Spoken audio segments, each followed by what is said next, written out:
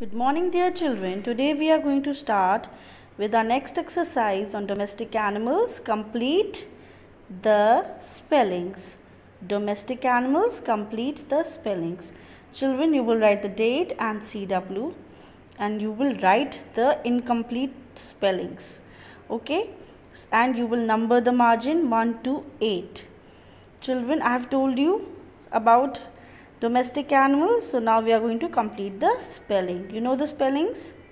So, okay let's see. C o w that makes cow.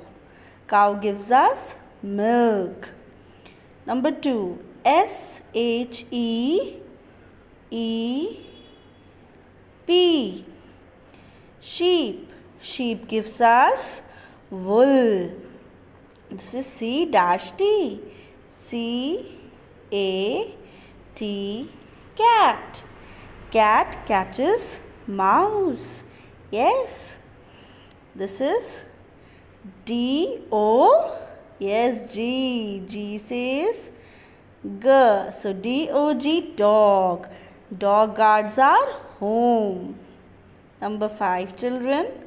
H O R S E.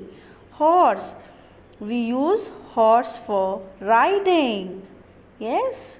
Number 6 IS IS stands for F. I S H. Fish. Yes we keep fishes in the aquarium to make our drawing room look more beautiful isn't it Number 7. H-E, he. Which animal is this? Okay, this is hen. H-E-N, hen. Hen is a bird. Number 8. B-U-F-F.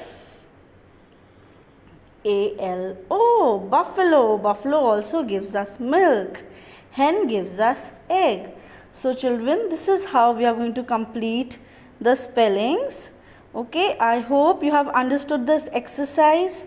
Watch the videos. All the work has to be done by you.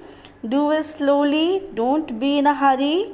Slowly you can finish your work and be neat. Thank you